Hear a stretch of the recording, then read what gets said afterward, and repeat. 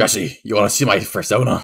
Today you're gonna learn about finding the Spiffo suit. There will be timestamps. Thanks for watching, Jesse. There are 8 restaurants in one Spiffo complex. I'll be showing their coordinates as well as having them in the description and a link to the Project Zomboid map.